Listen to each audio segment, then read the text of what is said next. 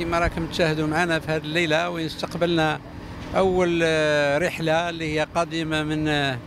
آه، من قسنطينه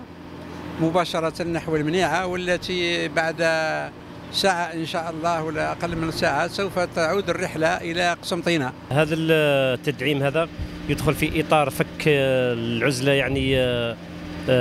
على هذه المناطق وبالتالي يعني آه، المواطنين هنايا لقاو هذا